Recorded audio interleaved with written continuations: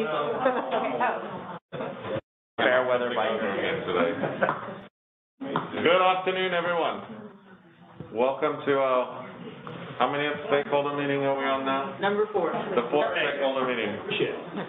We really appreciate all of you who come out to talk to us about regional east-west mobility, the concerns that we all have, the problems we found, and possible solutions that we can look at to improve the mobility in the region. So you've got the um, agenda for today. Um, I have just realized that I have, for the first time, forgotten to do something, and that is print an attendance register. Can you copy the last one? It's, it's in the, um, Get it. ser- it's on the server under the thing. Sorry, we'll print one and pass it around to you, because I don't like to have a roll call. This is a stakeholder meeting. It's not a formal committee of FAMPO, so we don't have formal minutes and we don't have formal introductions, but we just do pass the list around just to people to tick their name off. We'll get that to you. For some reason, it slipped my mind today. We're really excited to get on with the study. Our agenda today, depending on how much discussion you want to have, might be the shortest of our four meetings because it's very focused. We have two key items to talk about today. The one is the next memo, the next technical memo, which looks at starting to work towards solutions, so proposals, right? And these are just a first look at what some proposals, what some solutions might look like. Then we just going to update you on the fact that we're working, working towards a report, and there's not a lot to say on that right now, but that's the process, what the next steps look like. And then we're going to introduce our consultants to you for the phase two effort. Um, they're starting at the end of this month, but they just come today to just say hi, introduce themselves, um, and we're going to introduce them to you, and they're going to be taking the study further, and we'll be presenting to you all, to the Stanford Tech and the Policy Committee, proposed final solutions for our east-west mobility challenges. And they're going to be done in two sections. The first part is the transit bike ped solutions. The second part will be a heavy lift on roadway solutions. And I'm looking at Stephen because we presented those 13 roadways that we want to look at. And we got some questions of the policy committee about one or two of those roadways because VDOT's doing some work on them now and just finished some work. And I'm inviting you guys to make your comments in phase two when we're looking at those 13 roadways. Because really, our goal is to try and build regional solutions between now and the year 2050, dealing with those two metrics. What are the two metrics we've kept on looking at? Congestion and accessibility.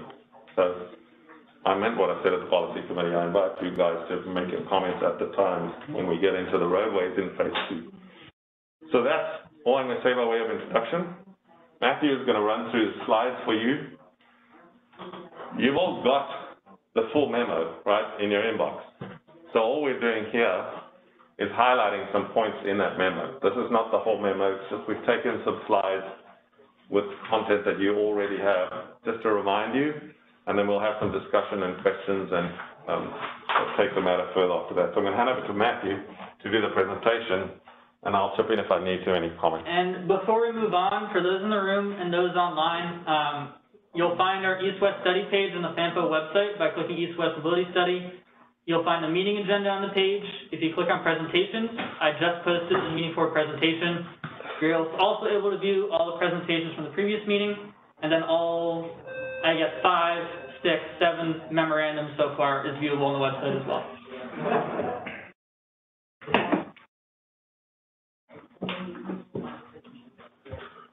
All right, so just going to jump right in, um, and please stop me at any point if anyone has any questions at all. Um, we'll just keep this as an ongoing discussion rather than jumping through and then discussing after. Um, so first, we'll go through kind of a summary of the phase one proposals, the bike ped. Um, so this right here is a copy paste of the bike ped proposals from phase one um, that we kind of ended up with. So the three proposals were improvements to three of the four train stations. Um, of course, the one missing is at Leeland Road, and I believe VDOT has an ongoing project at that or near that train station for bike ped improvements. So looking at Fredericksburg, Spotsylvania, and Stafford Brooke Train Station. So first, the Fredericksburg Train Station, um, improve the VCR trail connections is the main point that we're looking at here. And this has been included in past micro projects for the project for roundabouts at Kenmore Avenue. Um, you can see that kind of on the left side of the screen to kind of bring the VCR trail onto, uh, the, near the train station. Um, and we're looking to improve train station facilities and improve existing bike racks. Um, that's kind of one of the main points that Ian has wanted to harp on, and I'll pass it over to him for the next slide here. So what Matthew showed you is the alignment of the proposed bike path in the previous slide. That is currently in discussion in a smart scale application. So we don't need to rehash it in the study. The city and VDOT engineers are busy fiddling with those green lines to make sure that it's going to work, to put it in the right place, and all that kind of thing. So it's already underway. The bike racks exist right now at that black square that you can see on the screen. And the next slide shows you a photograph of what they look like.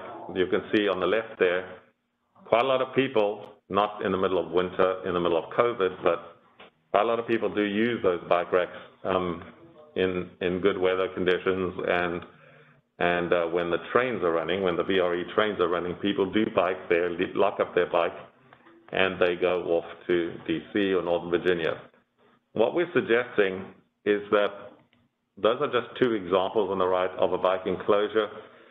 To keep the bicycles out of the snow and the rain and the weather, and also provide some better security, I could show you a ton of photographs from Boston where there is a bicycle chained to one of those outdoor racks and the front wheel is gone, right? Um, and I've seen uh, in the middle of winter, snow's fallen, and there's a bike still chained to the bike rack, and both wheels, chains, and everything is gone, and all that's left is the frame because it's slowly been stolen piece by piece by piece as time goes on, right?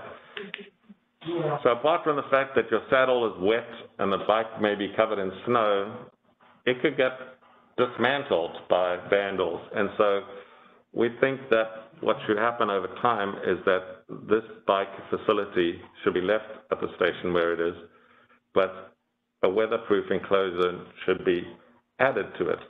I know the city has had some difficulty with certain residents who don't want improvements around the station, but really in terms of the people that ride those bikes, they're already there. The bike rack already exists. They're already using it. We just think it should be improved a little to protect those bikes from the weather and from some potential vandalism that might occur in the future. I'm not sure if the city has had much vandalism here locally, but certainly in Cambridge and Boston, I saw a ton of it. Yes. The, uh, trains that are going to the station over there, aren't there, um, bike walkers or something, bike infrastructure already planned? So VRE is sitting right here, so maybe they want to come. Yeah, so we don't directly, um, get into this. This is, we usually push this onto the locality or, you know, another entity that, that, you know, is, is, uh, maintaining the property. But we are one hundred percent in support of this. In fact, we actually were approached, um, a couple weeks ago by a private company called Bike Barns. And they were asking us about, um, you know, they, they did a sales presentation for us. and It was basically an enclosure like that, except it only holds like four bikes at a time, but you could do multiple.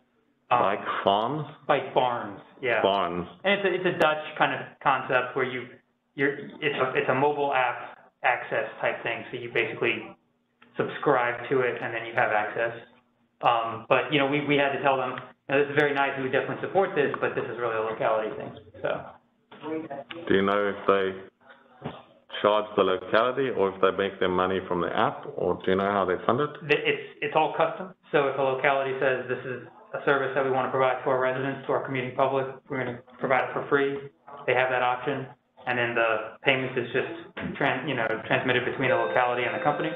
Um, there's also applications where the transit agency will charge a fee, or it'll be rolled in like a monthly pass for, for transit in places, so.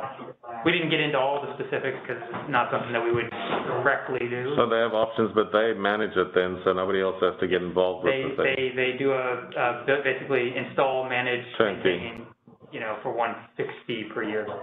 Build, operate type Yeah, system. yeah. Okay, fine. In the picture on the left, there are, um, a few scooters.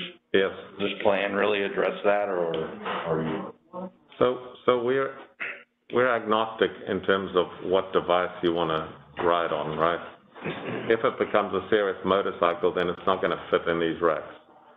But if it's a, those little electric scooters, you know, that would fit there.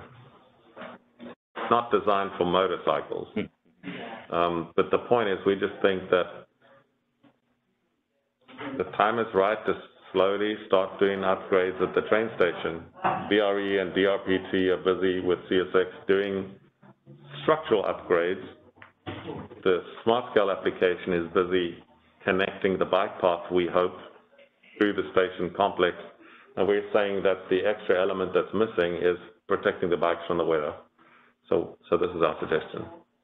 Matt? On to the next slide. Um, the next one would be Spotsylvania train station. Um, and I'll, I'll just emphasize, for each of these three sections, so Fredericksburg, Spotsylvania, and Brooke Road, kind of before coming up with this list of recommendations, we spoke with each of the localities to get an idea of what they might be looking for, for improvements. Um, so specifically with Spotsylvania, um, looking at a couple of ideas. Of course, you get that east-west mobility with kind of the routing along US seventeen from Germanna and the Hospital Boulevard area to the train station. So US seventeen is a major roadway that does not have much bicycle and pedestrian amenities.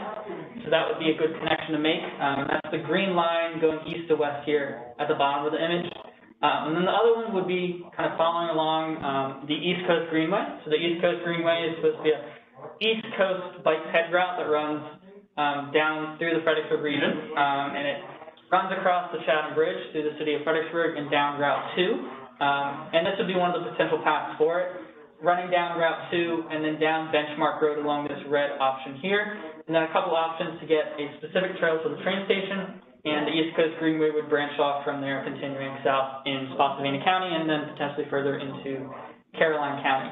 Um, one of the things with Benchmark Road was a study was done in 2012 um, called the Deep Run Trail Study. Um, this was a study that looked at improving bicycle and pedestrian connections along Route 2 and the Route 2 area and Benchmark Road, and it recommended something like this, some sort of trail along Benchmark Road, maybe in between the train tracks and, and the roadway or on the other side of the roadway to bring that bike ped connectivity from the Route 2 area, which is an area that has a, a good amount of population, to another area with a good amount of future population, Spotsylvania train station area.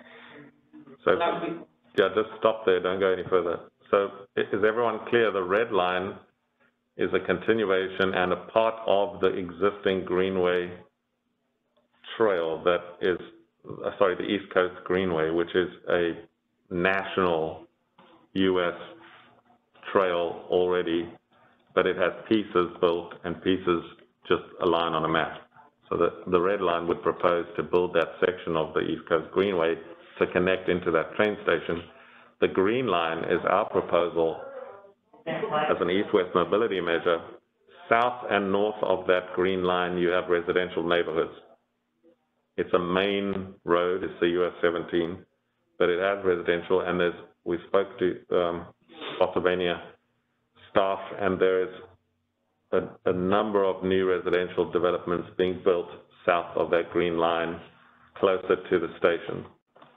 And so that, that green line would be a way of connecting a bike and pedestrian pathway right to the train station, past all of those residential neighborhoods, but could also connect up to the Germanna College. So it's a, it's another way for Germanna to be connected to the train station. Um, on to the next one here. So in Stafford, so the Brooke Road train station, um, this is a mostly rural train station without a lot of amenities around it, including utilities. Um, and we would be looking at providing a connection from the Stafford Courthouse area, where a, as Stafford County is calling it, their new downtown they're looking to build. So bringing a lot more residences and employment and commercial opportunities to the Stafford Courthouse area. So we're looking to bring some sort of bike ped connection from that area down to the Brooke Road train station. Um, there's a couple of options that have been discussed. One of those being this upper blue line, option B, which would go along, um, Courthouse Road and then down, uh, Andrew Chapel Road, down to the Brooke Road train station. That is the main roadway connection to the train station. So those who use this train station, as we saw in, I guess, memo three B, um, those who use the train station come from North Stafford generally. Um, and the main way they get there is along Courthouse Road, down Andrew Chapel Road, that blue line. So providing a bike ped connection down that road, um, would make sense. Um, another option is a, um, off-road option. Um, option A here, which is the red one, um, would be a path that goes down, um, some existing roadways, Old Potomac Church Road, to the utility easement where the power lines are, and then going, um, east, um, through some wooded areas, uh, down to the train station. Um, this has been something that's been discussed a lot in the past. Um, it goes through kind of down where the connection splits off, where the two option A's split off, the Stafford Civil War Park, so it would make connection to that area. Yes, question? Now, who nominated Andrew Chapel Road? I did. Have you been down there lately? I have not, no. It's, it, it's gonna be cost prohibitive. Not only do you have a constrained overpass, which allows two cars barely to get through, but you have ditches on both sides. I see that as a major engineering cost if you go Andrew Chapel by something else. And I'll just point out from, from my perspective, um, as a way of ordering these things, option A is option A for a reason, option B is option B for a reason. So you're Preference is- throwing away courses of action is what you're telling me. The, the preferences would be option A, yes. Um, yeah, it, have you taken a look at the, um, I know this is a couple of years old, but the DC to RVA, the, the, the FEIS and the ROD? So because there are some proposed infrastructure modifications to the roads because of the higher speeds that are contemplated, there are some new crossings, um, and I think that, at least when I was at the state, you know, we, we didn't, we built all of the crossings so as not to preclude bike and ped. So just, yeah, make sure if, uh, you go back and look at those and, and, you know, if, if we've got a, a crossing that's proposed and, and that's where you've got your trail or not, that you kind of modify the route to, Certainly. Any other questions?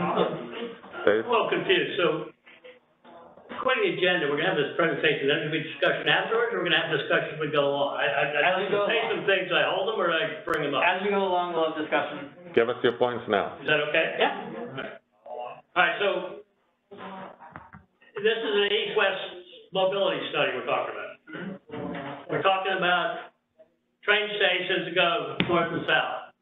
We're talking about making a little access, extra enhanced access to those train stations. Um, we already have, for example, Ian already said, for the Fredericksburg, the first one, the city's already got plans, we've got, we got smart scale money we're gonna. The second one, Spotsylvania has some plans that they've put out according to what was written in the program. The paths are proposed, the East Coast Greenway, which is another north-south thing, will actually feed into that, all right? And then the third one is, you know, some, some routes that would, actually, it would get pedestrians and it would make it easier for pedestrians and, and, and uh, bicyclists to get to the train. But we're talking four score and seven people here. I'm looking at a big east-west mobility study. And I think here we're focusing on the little last half-mile connections that are already in plans, they're, that, that are address so, a small number of people. I, why are we wasting, why are we gonna move forward with studying, all these enhancements are wonderful, don't get me wrong, I think they're great enhancements, and they're, and they're all things, but some, and some of them are, they're so good, they're already plans and already being, getting some put.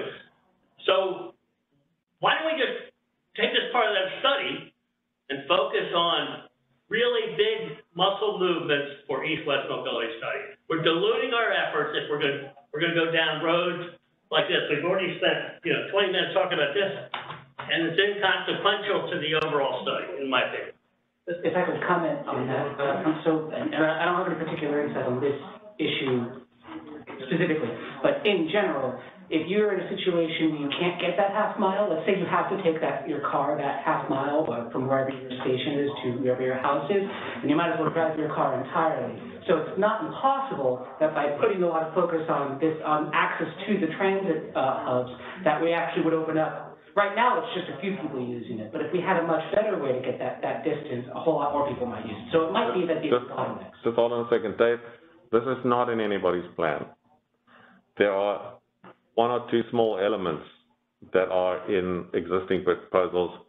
The, um, Fredericksburg train station, we are simultaneously working on a smart scale application, which is not approved, which is not in a plan yet. It's an application where Mike and I walked it on Friday. We're, we're currently busy doing it. The other two train stations, these are not in anybody's plan. So there are new proposals. And remember, at the beginning of the study, we said this is a multimodal study. So there are massive proposals coming. In the study, uh, sorry, in this memo, there are some, massive BRT proposal. Plus, our consultants who are waiting to be introduced are going to work on 13 roadways, which are going to produce some very large proposals. So they're all baked in here. Uh, Trust me, they're, they're baked in. We're just starting with the, the bike ones, and he's about to finish. And, know, just real quick, I think would be great for the group, because these are two good comments, is when we're having these little things like this, is any way to show what kind of, uh, what will it take off the roads in the east-west? I know that we, we spoke about in our first meeting, we targeted all the roads, maybe it would help everybody understand if we put, in a slide like this, if we just put, okay, this is gonna, we project this to alleviate the congestion on these east-west routes by this amount. And I'm, I'm sure our friends at VHB can help calculate that, but I think this all does tie together, and more connectivity will, will help throughout the region, east, west, north, south, but just by maybe being able to quantify that, it would be a little easier to grasp our, our hands around. It, it's, it's kind of generally, it's all about connectivity, even if this looks like a small portion, those last mile concerns for everyone, um, is kind of the biggest part. How do you get from, you can get from A to B, but B to B and a half, that's the important part. Now, this is the last item, like Ted, so I will say, if, if we want to move on, we can move on from that onto transit. Um, so summary of phase one transit proposals, there's five, six things here. Um, so looking at high-capacity BRT, bus rapid transit, um, looking at improved, uh, transit connectivity to various stations, looking at a downtown Stafford Transit Center, looking at, um, more quicker bus routes from Stafford County to the Central Park, Husband, Central Park, and Town Center areas, as well as a general understanding of some transit corridors, um, that were recommended to us to look at. Um, so we'll hop into this. So Um, So, Matt, uh, just a quick, this is just a global comment when I was reviewing this before the meeting. Um, can, can we, uh, maybe avoid like what they call BRT creep? Where, you know, we're, we're describing a system that you're calling BRT, BRT light, but really there might be very few, you know, elements of a true BRT system. If, if it, if it ends up, you know, through the study, that this is a true, you know, this, this really should be a true BRT system, call it that, but I would prefer something more like enhanced bus service or rapid bus service or frequent bus service, because when you sell something like BRT and it's not, you know, it's, it's just not productive. But, I mean, I, I liked the way that it was laid out and all the routes were analyzed, but I would just caution you against saying that it's gonna be BRT, you know, in the, in the study document. uh, not, not, um, Aidan, but, uh, a certain senior person at Fred Transit wants me to go exactly in the opposite direction of what you just said. Okay, So- that's, that's fine, I, I recognize there's, So we've got both opinions, but I, I take your point that we mustn't sell something that's not gonna be delivered. I get that. yeah. So let's call this a high-capacity transit. Matt, carry on. So I'm gonna jump into the slide on BRT here. Ian, please interrupt me if there's anything you wanna add to this slide particularly. So we tested in a transit software called TBEST. Um, it's a software that basically allows us to do, uh, scenario planning and allows us to basically create scenarios for new transit routes. In this instance, we created scenarios for six new BRT routes, as we're calling them. Um, and really through this, we utilized it through various input data sources, so inputs from Fred Transit, their GTFS feeds, um, inputs from the census, from DRPT, as well as land use data from the cities and counties from 2020 and 2021. Um, we set all BRT headways as 16 minutes and inputted travel times of 45 minutes. So it'd take you from 45 minutes to get from A to B on these routes. Um, as well as service on weekdays that, you know, 6:30 to, to 8, 9 p.m. at night, as well as weekends, uh, something that Fred doesn't currently have on the majority of his routes. So at this stage, just a comment. these are options, right? To test what happens if you do this. None of these options Matt is gonna present is the final proposal.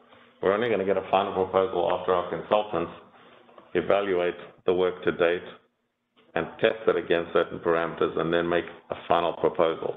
So these are options because they tell us what happens if you implement this? What will the ridership look like? What, what will the effects be?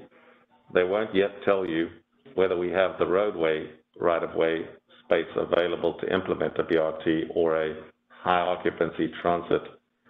We will find that out after this. So this is the first step. The first step is if you do this, what happens to the ridership? Does it work? That's what Matt's trying to answer with this section. Yeah, so really we're coming up with, this slide here is describing the scenario that was inputted for all six BRTs. And then the next slide, we'll get into all the different kind of route options that could potentially work. Um, on the last part here, um, to kind of Nick's point, TBEST allows us to make BRT-specific adjustments. So adding things such as bus-only lanes, sheltered transit centers, um, better advertised buses, things like that, that can generally help to increase ridership. Um, so the BRT proposals, um, we have six different proposals here running along kind of major roadways in South Spotsylvania and um, the city of Fredericksburg.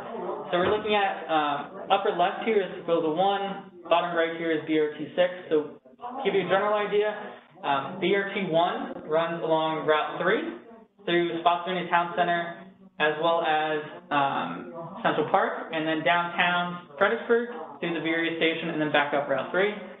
Uh, BRT two runs through Route three, um, and I'll mention these are all stopping at park and ride lots. Uh, BRT two stops at the Salem Church Park and Ride Lot, running downtown Fredericksburg, and then back up along Fall Hill through Central Park. BRT three is similar, but instead of running down Route three, it runs down along Cowan Boulevard. BRT four, again, Salem Church Park and Ride Lot. Similar though, it cuts along down to the Mary Washington Hospital Center, through downtown Fredericksburg and back up Fall Hill. Uh, BRT five, um, similar to BRT one, is starting at the Gordon Road Park and Ride Lot, um, going through Route three, downtown Fredericksburg, and instead of going back up Route three, it cuts back up, uh, Cowan Boulevard.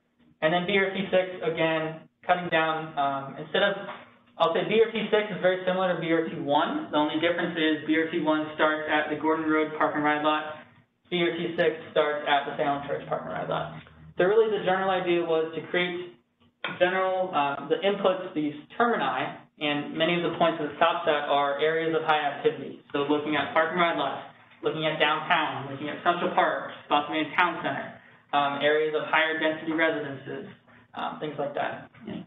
You'll see in the draft memo that the attempt here is to connect Spotsylvania Town Center Shopping Mall and District, the cinemas and all that, Central Park, all the shopping district there, the University of Mary Washington for students and staff, the train station for connection to VRE, and in some cases, we looked at connecting the hospital in as well. On the very west, we toyed with these two park and ride lots, which don't currently have great bus service or sometimes no bus service at all. So we looked at what if we started to connect one or both of those park and ride lots into the system. So those are the high points that we tried to hit. We're trying to connect and, and in between residential neighborhoods, so we have the ridership. So you're trying to connect residential areas downtown with the two shopping districts, the university, the train station, and perhaps the hospital. The, those are the points you're trying to hit. And in doing so, we're trying to model where we're going to get the best ridership. And is it even feasible? That's where we're going. Just one quick question with the, with the BRT, well, more of a comment. So I think these are, I think these are a really good start. When you do BRT, you really have to have it as straight as possible. Mm-hmm. So I think that some of these ideas that we have, um, I'm looking at BRT four, they're looping, this, this wouldn't be successful for BRT. BRT, the option, when we're going through, option one, five, and six are the, are good, except when you go down to the city of loops and they all both have appendages off of it, I think what is it, five that goes around the corner? What, a successful BRT will be really point to point. You can't hit all of them, you can hit as many as you can, but you can also have some BRT stations that can act as transfer points Mhm. for other routes. So if you wanna go ahead and try to, if you, if you're looking at a BRT as a trunk of your system, which I think is what would, what you're getting at, and what would probably work best here, if you're looking for fifteen minute frequency service, like you said, then with the, if you wanna have some of these other big locations, um, that aren't necessarily on that east-west line, you might wanna have a route that's thirty minutes, fifteen minutes that connects still, so you can transfer into the BRT. So I, I, I think that, you know, this might need a little more polishing up on just trying to get linear, because this, I, I don't think this would, um, work too well as a BRT. This could be, you know, uh, I think the corridors are good, but I, I think just maybe one or two more iterations, we'll, we'll, we'll get there, but we just gotta focus on keeping it as linear as possible, so we can get those speeds down. I mean, that happens, for example, when you're trying to include the hospital, right? So that's why a lot of those options just don't include the hospital because it's kind of out of the way. Also, as you'll see, if you look in the memo and you look further at the data, the mo- the most obvious linear route is just straight down Route three, but it doesn't have the highest ridership. So the attempt here is to trade off ridership versus keeping it as a linear thing. And in fact, a straight line down Route three does not actually do what you're saying, which is to produce the best ridership and the most successful route. Unless the model is just bad, but the model shows that places like Cowan Boulevard, that's where you're gonna get your most ridership. And then the final thing I'll say before I'll shut up and hand over to the rest of you is the problem is, of course, finding the right of way to be able to build a bus lane. And if you keep it in a straight linear line, you've got to find that right of way on both sides of the road, which stretches your ability to fit it in to the maximum, right? If you're able to get two parallel roads, you can put one way on the one and the other way on the other one. At least then you need less right of way on each road to be able to fit the lane in. So I understand the point that you're making. There, it, there are balance of forces here that we're trying to look at to try and make it actually be successful. I understand, I think you can get there, but you, when you, when you get into the middle, you have to have it bi-directional, or people aren't gonna ride as much. So if you have it on two parallel roads, it's not gonna have as high ridership as just having it there. And when I say linear, I mean it needs to be in a straight line. So if you wanted to, just by looking at it, you could kind of do a hybrid. If you wanted to, what, Route three through Central Park up to Fauquier Avenue, you're still just going on one right-of-way bi-directional. You could do a little bit of a loop at the end, but I would really only keep it a couple blocks. Um, I, and I- I'm, I'm no BRT expert, I'm sure when you get to the engineering and get into, into, the- into the risk but those are the, the basic concepts. I, that's why I really think that BRT one and BRT five and six here are really good starting points, because they're not branching out so far and they're not looping. You do have the little bit of tangents on five. I think this is going the right direction, but just those, those, those two, those two concepts, keeping it linear and then making sure that you have it always bi-directional on the same road. I know there are right-of-way, um, you know, difficulties here, but it may, it may show that a BRT is not feasible at this time. Well, let me, let me just, uh, interject here a little bit. Um, Yeah. Looking at your model and your numbers, I think you're right on. Uh, four and three hit our transit corridors where our people are. Uh, the, the one, I understand what you're saying, Aiden, completely, but one and six, that's a, that segment of Route three in the city, it's not essentially, it's not a dead zone, but it's not a transit zone. It's, it's low-density, commercial use. There's a few neighborhoods there. Uh, it's not serving our transit population, and that's why the numbers are higher on the model than the other one. So if it needs to be more linear and more direct and, and two-way, I think that's a great insight. I'd agree, but I would focus on Cowan and Fall Hill. It's where, our land use planning indicated that we needed these types of routes, because that's where our service is. And I agree wholeheartedly. I think Cowan and Fall Hill are the two corridors to, to, to go on. Um, you just can't have all these different appendages. I, I hear you, man. That's a good point, especially the two-way thing. I think Yeah, that makes a ton so, so yeah, Fall Hill and Boulevard, I mean, those, those are, those are gonna win you the, win you the medal. And, and the numbers are in here. I thought this was an excellent report, the way it's, it's laid out, like you were suggesting before, showing how the ridership works. It's in the tables, and, and that's, I mean, I can, I can see it on the map, and I can see it in here, so that's, It, it's fantastic, but you have, but when you, when you're looking at the model, you really have to also, uh, go over some of the intan- intangibles, which is, it, are- is this gonna be useful to somebody on the ground? And if you don't have it where you can ride, because when you're going in a loop, or when you're going off all the other way, it's not a direct shot, so you really have to keep it linear, and I, I don't know, I'm not totally familiar with TBEST to tell you, but I don't know how, um, it, it, calculates that, but, um,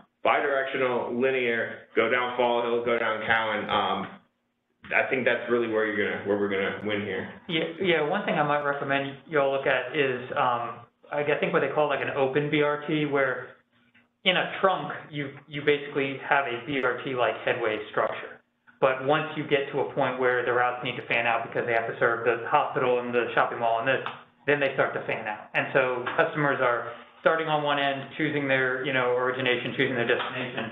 And, uh, and the customers that are, that are taking it in the highest density, most transit, you know, supportive part of the corridor can get on any bus because the headway's five, 10, 15 minutes or whatever. And so I, I feel like for a Fredericksburg example, that might work better here, you know, or at least to look at it and just put it into TBEST and see, take some of the existing Fred routes, route them into one or two main corridors and then route them back out. And, you know, and you can still have the branding and all that kind of stuff, but it, you know, I think it's, yeah, I, I- I mean, I kind of agree with what you're saying. It just, it's, it's, it needs to be more linear. So what you're saying is the center must have a straight line, bidirectional, Yeah. and then some feeder catch on either side that Ye- could branch out? But that doesn't necessarily need to be BRT, it could just be high-frequent bus service, those there, because if- Yeah. if we, if we start having ten-minute service there, there's no way we're gonna be able to afford it. But if we have fifteen to ten-minute headways down Fall Hill, down Cowan, and then we have, the way that we would organize our routes would use those particular BRT stations, like, let's say there's one close to the hospital in Fall Hill. We have a route, thirty minutes, you can connect to the BRT, and then use, you use those stations as transfer hubs. I mean, that's a kind of the, the, the cost-effective model that more agencies are getting to now. Keeping one BRT to start, and then you're using your stations as transfer centers. Right. Dave? So, so under, understand, these are not currently Fred bus routes that would be enhanced by having a dedicated lane and that sort of thing. Correct. These are our routes that we drew up as Okay, ideas. so then the obvious question to me is, VRA's been doing this for a long time. If there's no demand signal for these routes, I mean, apparently there isn't because we don't have them now. So what's the new demand signal? V- VR, VRE does not do BRT routes. They're, I'm, I'm sorry, uh, Fred, I'm sorry, I said VRA, I said Fred, excuse me, Fred, sorry. So, Fred Transit does not currently service these, so the demand signal is not there. There's high priorities. so Fred, We service all of these areas. The, the issue is with our routes, they haven't been really comprehensively looked at since nineteen ninety-six. Our routes are horrible. They all go in circles and they all go off everywhere. I think what they're just proposing is, is what we really, to have a So successful you have transit to, you're system. about to undertake a new transit study, right? We are, we are, Right. we're, we're, we're So, locking that off. so isn't this the kind of thing they should address? Yeah, so this is what So they're, should this, then I'm proposing, we throw these options over them and let them address it. It's, a- again, something's gonna take away from the bigger, the, the more purposeful project, uh, of this, uh, purpose of study, which is east-west mobility study. yeah, I would Let respect the experts in their I- I- greater study, I, I'm on sorry, transit, of the BRE, I got, I, uh, Fred transit. honestly, I I disagree with you there. Um, I, I represent the university here, and I know that students right now, they don't know that there's a way to get around. Uh, and, uh, the, the Fred has not really been very much. Um, this, if it, uh, works, would be hugely helpful for students and the, uh, UMW community. So, I, I understand that it maybe does not affect quite as many people as, you know, car travel, but it's important too. And just to address your I'm point. saying, but it belongs to another study, not. Yeah, no, well, I I can, I can clear, I can clear this everybody right now. So, we have a different study, right? But the study is focused on how we gonna actually route our buses, right? So it's gonna focus on, yeah, so this is more of a BRT, this is more of a, no, this is different. This is more of a construction base, this is more, it's not really aspirational, this is more solid. There's a lot of, fun. this is more for the construction part of it as well. So you're, when you have a BRT, there's a lot of different capital items that you need.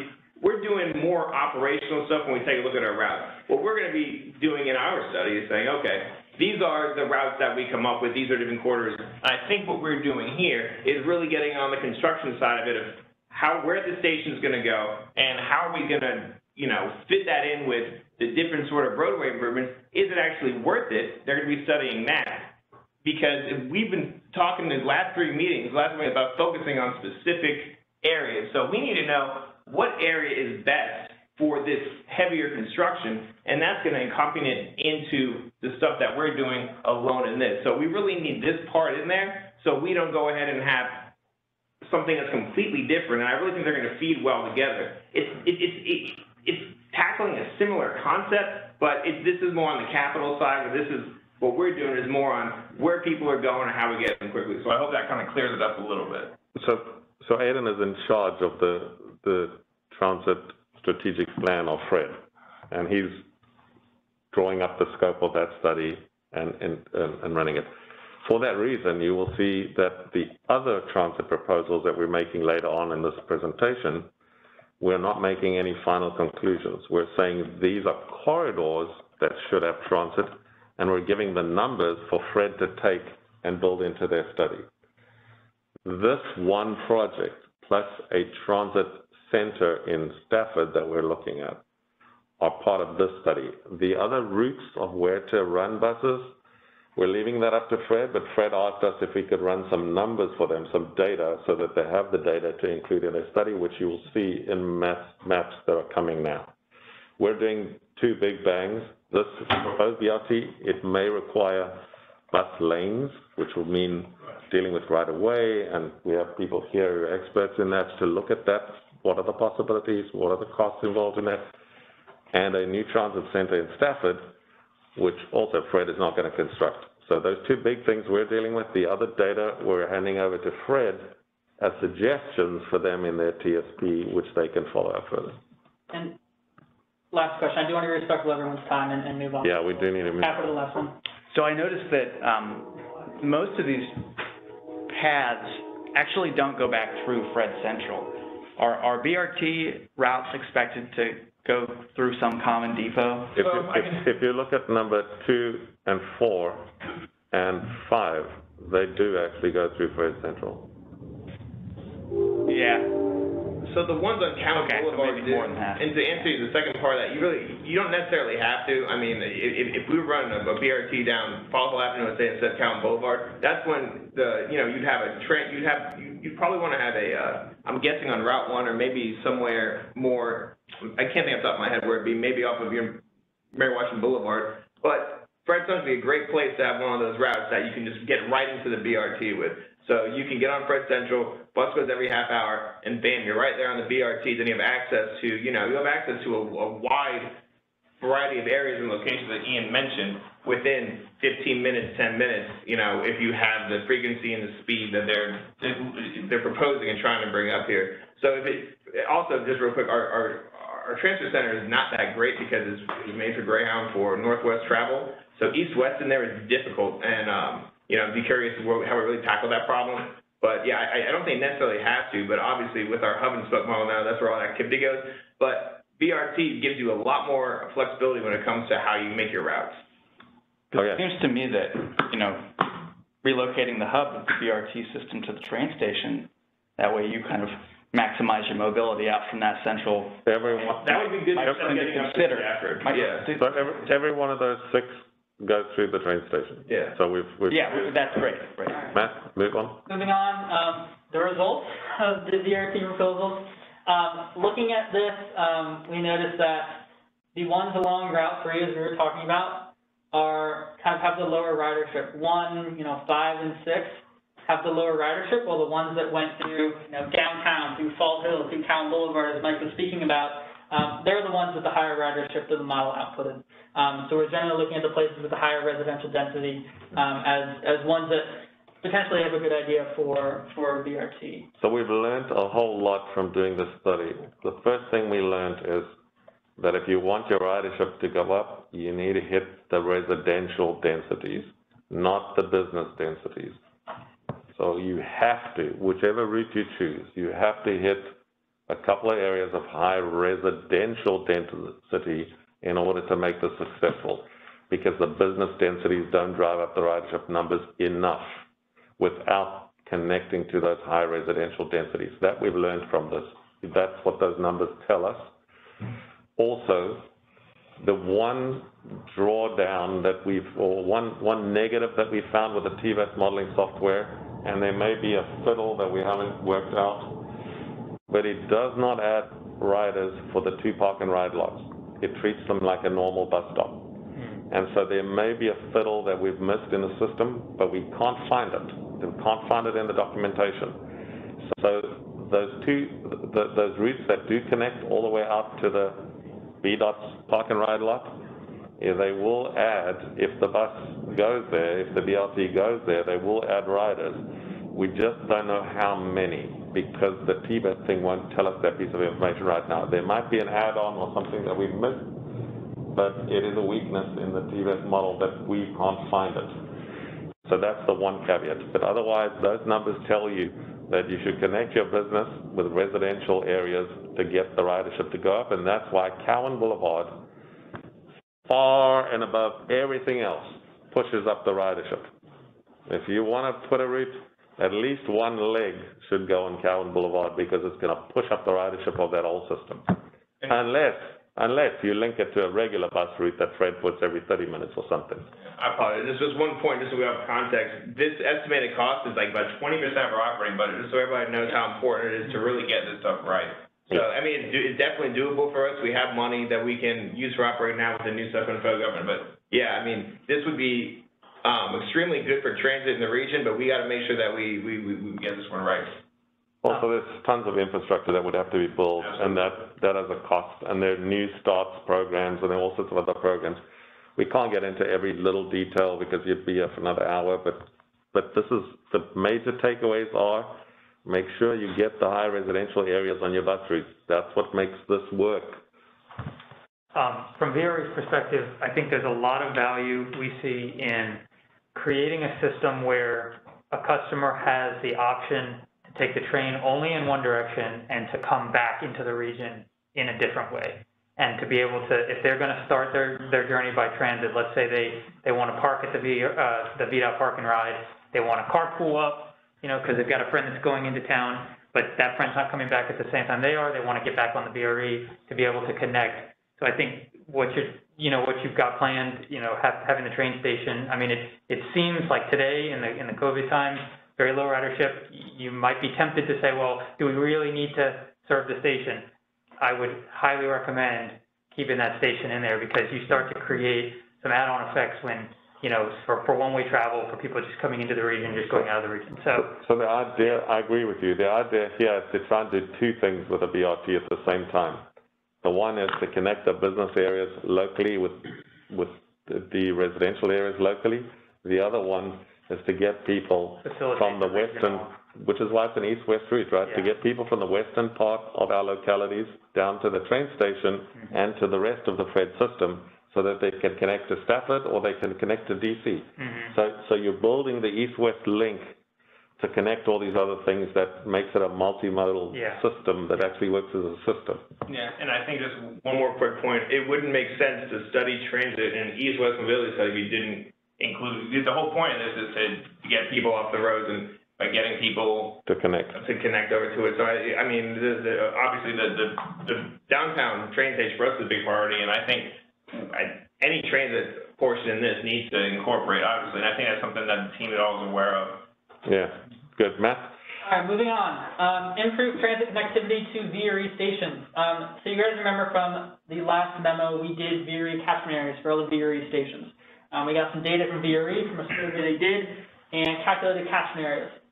I basically overlapped over those, um, generally defining corridors where, say, VRE routes that go specifically to the VRE station run along that could pick up ridership from, say, park and ride lots.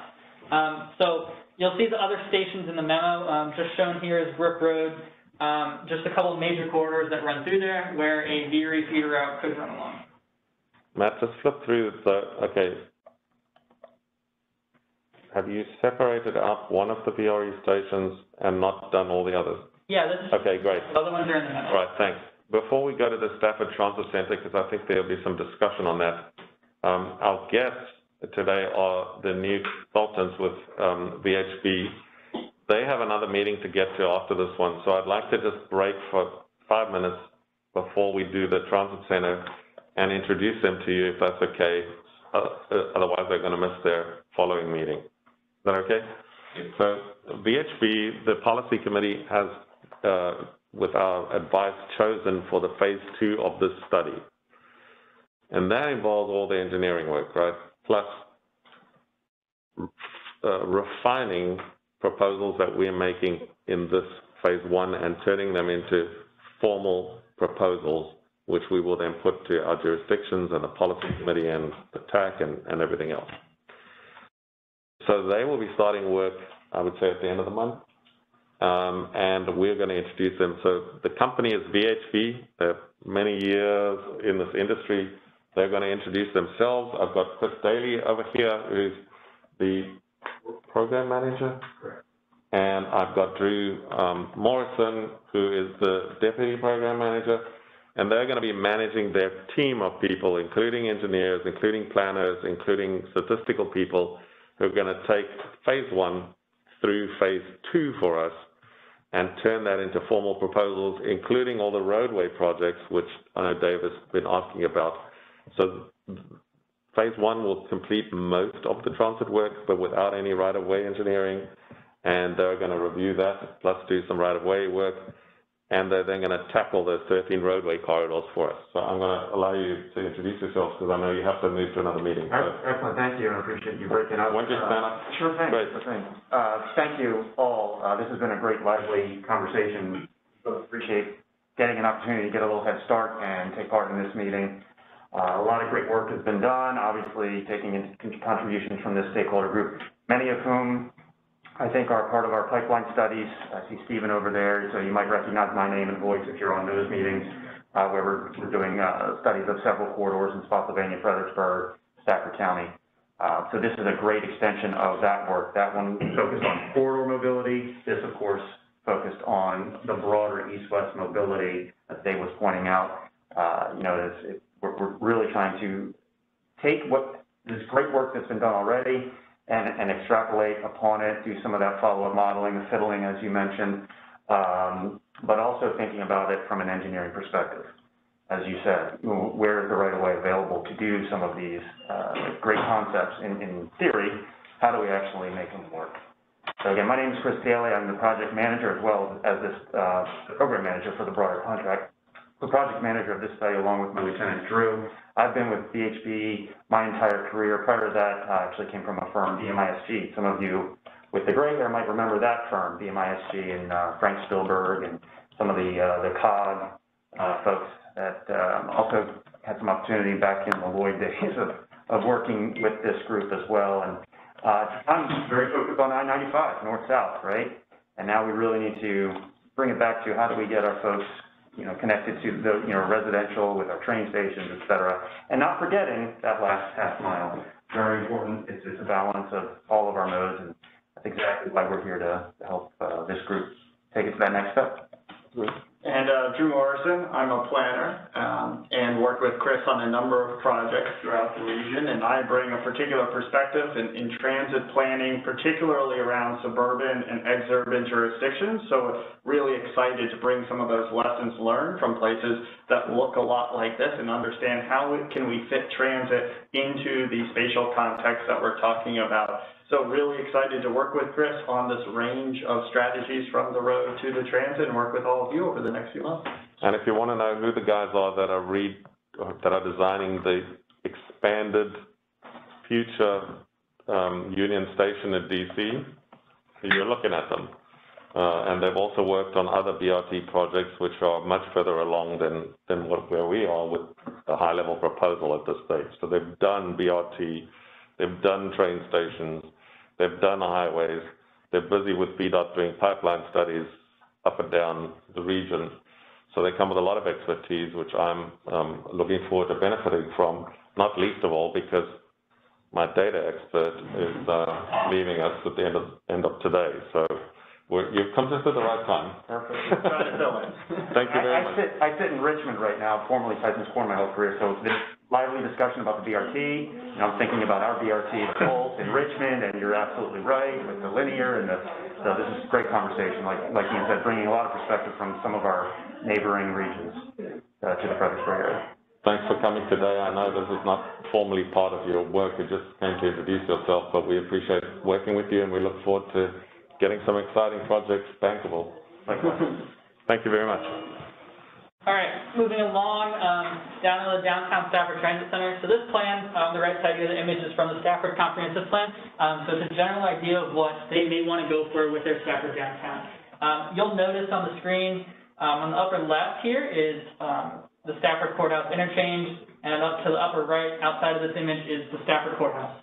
Um, so really looking at places where you could build a transit center. Of course, there is the existing park and ride lot that was built, the new park and ride lot built by VDOT, um, and there is some transit improvements, right where the number one is associated here. Um, so that could potentially be improved to build a better transit center, um, that's capable of better buses.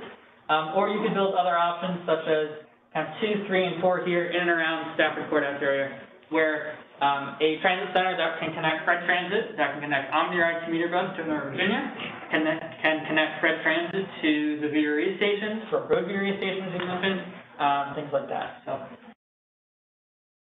No questions, I will move on to the next one. Um, so Stafford County Express Bus, as we're calling it, um, not a BRT, not necessarily too much quicker than a regular Fred route, but something that hopefully gets people in Stafford County from, you know, the US seventeen corridor, the Leeland area to, um, Spotsylvania Town Center to Central Park quicker than, say, the current bus routes do. This idea was suggested to us by, where's he gone?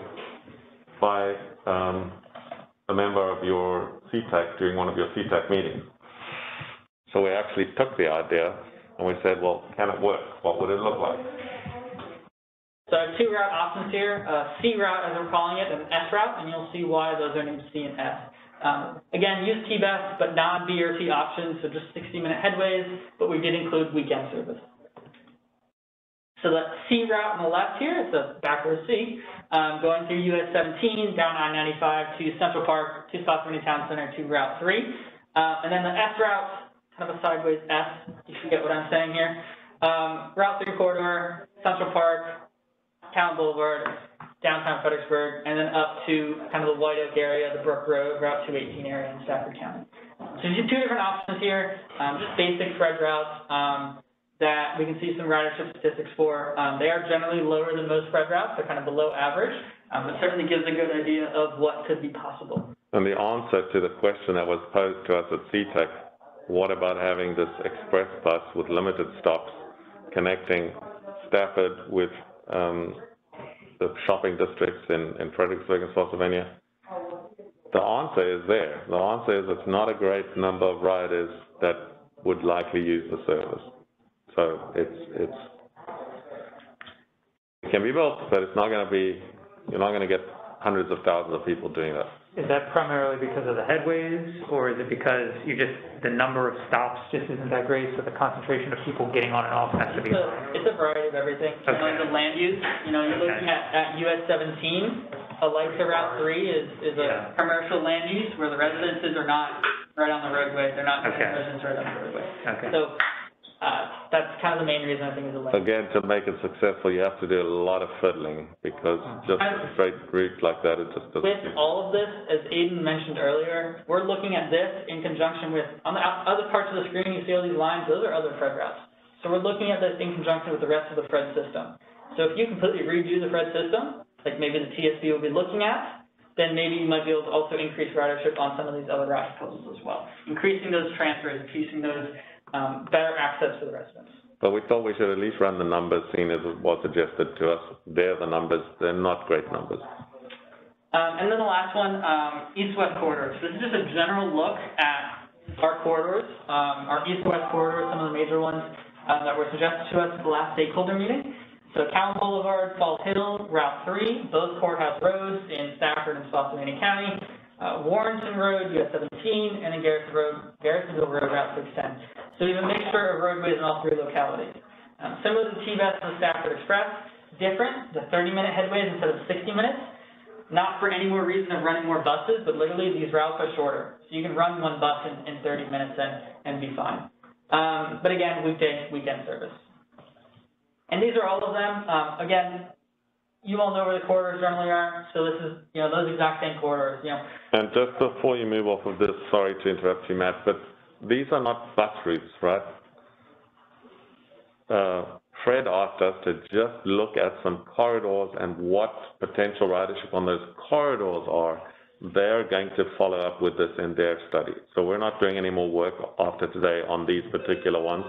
These are just to assist Fred by looking at, are these corridors major corridors? Do they have a ridership in the vicinity that could be used? And then Fred can take that information and use it or not use it. We just assisted them by doing these. The purpose was to get some transit-like numbers for all these corridors to get an idea of what could work for future transit services. So they're not, you know, planned nice routes or anything. They just have a logical termini at a, at a, um, shopping center, at Fred Transit, for instance. Um, but that's, that's about it. We really appreciate you guys doing this because, you know, when we took a look at it, what we really wanted to get was, can we rank the east-west corridors in our region so we can prioritize where we put our more frequent headways? So the, all the information you have is just fantastic, and, uh, yeah, it's gonna help us a lot when we're really trying to, uh, where we allocate our resources. And they're, they're the numbers. Matt will walk you through them and then we'll take your question. Can you go back to that last slide?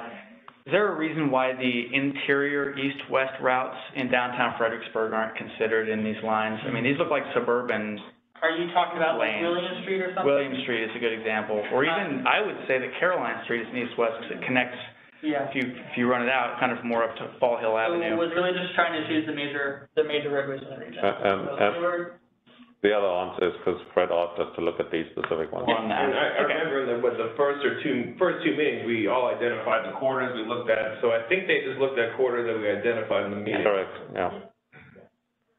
Got it, thanks. So the specific data, um, really, as we mentioned throughout this whole meeting, Cowan Boulevard, Fall Hill, Route three actually has quite a bit of good ridership, but Cowan Boulevard is that top, that top annual ridership number. That is where you have the densest amount of people, as well as a lot of people who can then connect to Central Park. So you have Central Park in density, um, you know, you think you have biggest shopping center in Fredericksburg, and you have the most density in Fredericksburg all on the same route. So that's where you're getting the most of it. Um, other- Matt is quite correct. It's the same thing we found on the BRT. Those top three, those are where the riders are. Those other ones, they're interesting, but they have less riders. You can see here, you know, Route three does have ridership, and that is why we did run a BRT along it, but it doesn't have as much as, say, Cowan Boulevard does. And just one quick distinction, I think, for the group, is these will be, because we keep getting the question of, okay, these aren't the big, broad, macro east-west. We're only good, transit will only be able to solve some of these corridors, so I think by, you know, looking at these ones, we can say as a group, okay, this is where transit can be helpful to solve the congestion, mm-hmm. Cowan, Fall Hill, Route three, may a little bit of Garrisonville Road, but the other ones we can just throw out. So that's where, you know, I think we could come into play. We won't have anything else to do with what else you all decide about the other ones that don't really, you know, nothing we can really do about it from our perspective. Good, Moving on, next steps, Ian? good. So this is where we are today. This is the first time we've presented you with ridership numbers that can give us some guidance as to what could happen and what really shouldn't happen, because it's a really bad idea. And we can see already, we're starting to now form patterns of if we're gonna do a BRT light or whatever the hell we end up wanting to call it, the high-capacity transit route, we now know where not to put it, and we've also got some idea of where to put it. And Cowan Boulevard, on every single run we've done, whether it's a regular bus route, or whether it's a high-capacity route or a full BRT route, that roadway attracts the highest ridership, and if you want full buses, you need to have something there that is connected to the shops, that is connected to the university, to downtown, to whatever. That would always be number one. And then Fall Hill and Route Three also provide a significant amount of ridership. But you can see that depending on how you lay that on the ground, it can have great ridership or mediocre ridership or none at all. And one thing I want to add to that, within the actual memo, for all of these routes, we've detailed the amount of percentage minority population, percentage low-income population, the density of residents, the density of employment, and that can help, also help give you a really good idea, more than just the ridership numbers, of why these routes, why these, I guess, corridors are better than others. We spent a very, very long time checking data, validating data with the jurisdictions. So we spent a long time going to your planning departments and saying, hey, can we please get your latest number of housing units per, literally, Matt was doing it per stand, per, per land parcel. I went parcel by parcel for a while. So he literally went parcel by parcel to verify how many dwelling units on that parcel. We did a major data, um, analysis before running these numbers. So by the time we did this, we have confidence that the data that we have in that TBEST right now for number of housing units and number of people is very accurate compared with some of the other models that are around for our region. Now, it's still not hundred percent perfect. In the very rural areas where we don't have transit and we're not likely to have transit, I'm not gonna vouch for the data in the very, very rural parts of the model. But certainly in all the moderately urban and very urban parts of our jurisdictions, the data in this model are very accurate. So I think this is giving us a better idea than we've ever had before as to where successful high-capacity transit could go, and also where we're recommending bike and pedestrian access to transit. Phase two is going to also look at other bike and ped, which are not necessarily directly connected to transit, such as, you know, connecting through the shopping district, a bike path, a bike and pedestrian path, and, and those other things. This specifically looked at bike and ped connected to transit, where we could try to get people to train stations and key bus uh, stops, plus these transit um, proposals. It looks like at this stage, a single BRT light or high-capacity transit system would be viable, but you'd have to spend some time, and we'd like to work with our consultants to find exactly where the best route would be. Those are options that we put there, and we've looked at where the ridership would be. We certainly know where it won't work, a bunch of places it won't work. And we also know a couple of places where it's likely to work quite well. But then if we want to make some BRT infrastructure, like dedicated bus lanes, where would we put that? Would there be enough right-of-way? Would it be fundable? Would it actually even work? We can't ask that question yet. We're not asking you to support that answer yet, because we don't know the answer to that yet. What we know is where the riders are. We don't know where the land is available, and that's a second uh, part of this equation. So any comments from anybody on how far we are with this so far? We'd happily take your last comments. I'm conscious of the time, but this has been the shortest meeting if we stop right now. Uh, So, well, I'll prolong it just a little bit longer if that's okay. Um, how did, how did you choose the, um, span of service? Because it seemed, when I was reading the report, it seemed kind of arbitrary and like on the weekends when you would think Yeah. people are out at the mall, people are, you know, six thirty, seven, seven o'clock or whatever it was, seemed kind of early. Uh, The weekdays, of course, were, I think, Yeah. six AM till eight or nine PM. Okay. Um, that's just your basic weekday service, um, a little bit longer than what Fred runs. Fred starts at what, six thirty and ends at seven thirty, eight thirty, something like that. Okay. So it's that and a little bit longer than what Fred runs. Um, the weekend service was, yeah, that was a little bit of a conversation. Um, the weekend, I think we have what, eight AM until nine PM on Saturdays to get those people who are shopping during the day, as well as a little bit of the people who are going out in the evening. Um, that certainly could be expanded to a little bit later in the day for a specific route. If you have a Fred route that goes, you have a Fred route, um, for instance, the Eagle Express route, Yeah. um, they run until midnight, Aiden? Um, no, we, we, so it- you, we used to have the Eagle late night that did run there, Right. but now we, we, we end around nine or ten. Yeah, around nine o'clock. Depending Okay. on the day. Yeah. And this is all based on funding, which, we don't run Sunday service right now except for the Eagle, so we, we Okay. work with FAMPO to try to figure out, you know, what's our span of service now, and then, you know, we, we're, we're bringing Saturday service on board, so it, that, that can all change, but I we wanted to give Matthew some, uh, um, metrics that were in tune with what we already run, so we Yeah. could compare apples to apples. Because two things I'll say, like, one, like, as we're, as we're already starting to contemplate weekend service, reverse flow service, all-day service, the success of our service will depend on Exactly. your span of service, In- in not, not literally yours, but, you In, in know. TBEST, we inputted the Yeah. Rate. Okay, The input of the Vigor route, I won't say it's perfect, um, I don't have data Okay. from Northern Virginia or any of that kind of stuff, so I won't say it's perfect. But we do get transfers in the mornings and the afternoons Okay. onto the Vigor route. Existing, We're not catching, yeah, we're not catching the five AM, of course. right. We are catching those seven AM, those eight AM, Yeah. those two, three, four, five PM And shuttles. just FYI, I mean, we're, we- when, what we're trying to do is, is make the Fred system go seamlessly into VRE, especially when you guys do bidirectional service Yeah. every half hour. So, um, yeah, we're, we're, we're gonna plan our schedules directly based on yours and Yeah. whoever else that we connect with. Yeah. So this span of service is like Fred plus some, Mhm. but of course, when we get to actually implementing something, then we'd have to work with Fred, who presumably would be the operator, unless you guys want to operate it.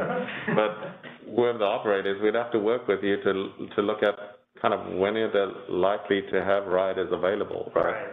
So on a Sunday, you typically have less riders, so you might want to have a shorter span of service.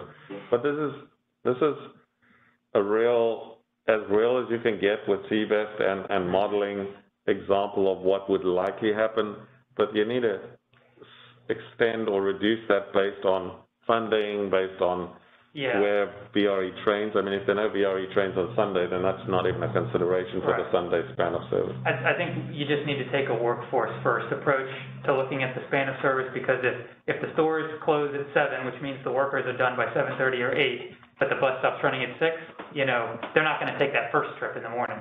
Sure. And then you, and then you lose two trips, you know, so, I mean, Sure. 'cause that's who, that's who this service is gonna, is gonna benefit, is the people going to work at the Target, At the Walmart. you know, and so, And it's all about your timings, and generally for now is putting a general idea into Yeah. Get some outputs, and after, uh, of course, you, those details are the most important part of that Mhm. schedule. mhm. Um, what was like the walk distance that you assumed people would, would walk to get to a I stop? believe Did it was a quarter mile or a half mile in. Okay. All right, thanks. Dave? Now, w- one thing I noticed is we're doing CMP twenty twenty-one now, or twenty twenty-one, is that right? Yeah. Correct. And there's a lot of data and stuff in there that's applicable to both phase one and phase two of this effort, and I hope those get, you know, the crossbreeds. The, the roadway numbers, yeah. Valuable stuff. Um, so, and one other thing, Ian said he always puts a typo in every document. I, I wrote this memo solely, It's, it's VCR, I just saw this thing, VCR, is it, is it, uh, railroad or roadway, or, I mean, Rail. railway or railroad, I saw it. Railway, railway is the, So I saw it, yeah, and I think they wrote railroad in here. so there's two places. It speaks to the Virginia Central Railroad as a history of the Virginia Central. Okay, as long as we got it right, I don't know, I'm just saying.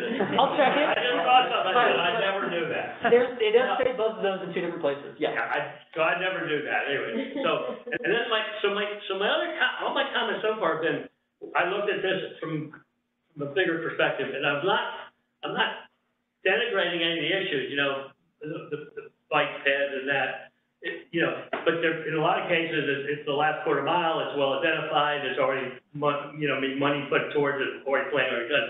So I'm saying, is any of those things that we can take out of the study or put lesser attention on, because there's so much more big muscle movements that gotta be done. That's all I'm trying to do is, can we simplify this so the con, the contractors are really concentrating on the stuff that's really gonna have the most impact, most value added to us. And so please, that was my perspective. And, and you'll know, it, well, it's actually before your time, the policy committee goes back to FAMPO all the time, and says, why are we doing another study, why are we doing another study? That is, a- that is an ongoing theme of the policy committee. And Some of the people have been here a while, we've got some big projects in here, which, in fact, more than we'll find money to pay for, but we've got thirteen railway projects, we've got this yeah. BRT light, we've got a Stafford Transit Center in Stafford, we've got, a bunch of bike ped projects, uh, and some of those are quite big, um, all in this study, and the idea at the end of it is that the region will have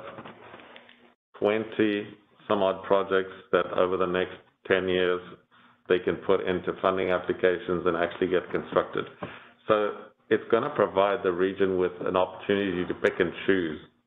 Oh, we like number three, number five, and number seven, let's build those. It's gonna get a, give a plethora of options for the region to have in the future that they can decide to progress with, and if they don't like two and seven, they, no, leave those on the table and say, no, we're not gonna build those, right? So, but there's some really big projects in there. Um, and the phase two, we haven't even, we haven't even got to the roadway yet. Any last comment from anybody? I wanna, you asked, a couple of you, if we can get out earlier than last time, well, we already are gonna be earlier than last time if we, if we stop now, but if this is your last chance to make any comments on this, Dave, we will fix the typo errors in the document. If I do have some follow-up comments, this is that question that goes Send them to me. I'll do it today. Thank you. Yeah. And, uh, we've got one new staff member, which some of you have already met, Becky Golden, who's joined us. She's helping me with manage the operation here at FAMPO. And I'm just waiting for another person to sign. I've offered a position to another person for our Title VI as Public Engagement Coordinator. Hopefully they'll sign this afternoon, and then we have that person taken care of. And we're advertising for another planner to replace Matthew. So we'll be fully staffed, I, I hope, within the next month. That'll actually be the first time that we've been fully staffed since I arrived here. Thanks, everybody. Look forward to seeing you. There are the dates for the, proposed dates for the future meetings. Could you suggest what time of day works good for all of you? I know some of you come all the way from Northern Virginia. Some of you teach classes. Some of you have other meetings. What time of day works for you? We've had meetings at nine thirty AM, we've had meetings at one PM, we've had meetings at ten. What time of day is good for you? Because I'll schedule those three, which are largely gonna be phase two meetings. So you're gonna get into the roadway stuff and the big projects that Dave is keen on. Uh, those are proposed dates. What time of day? This works well for me, honestly, yeah. One o'clock? Does this work well for you? Everybody else? Want me to schedule them at one o'clock again? All right, so one o'clock on those three dates will be your three meetings. Now you know in advance, and you don't have to try and schedule and faff and fiddle. And, uh, our new consultants, we're looking forward to, they will make some proposals and suggestions at those, on those three dates here in this room. Thanks you all. The meeting ended within a short time. I hope this was early enough for you. Yeah, just to be clear, it's